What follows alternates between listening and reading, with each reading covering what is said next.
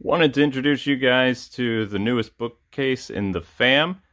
Uh, this was the one Amber built me for Christmas, and as you can see, I've already decked it out with my stuff. Got some DVDs, got some miscellaneous stuff. Gonna do more with that later.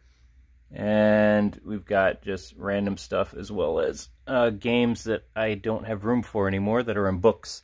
And then directly behind where we record, have some stuff like this. Got all the Switch games. We mostly do digital, but there you go. And our 3DS stuff, and some other fun stuff. Well, hope you guys enjoyed the little uh, tour, and uh, have a great morning. Like, comment, subscribe, all the good stuff. See you guys this evening with an awesome live stream. Peace!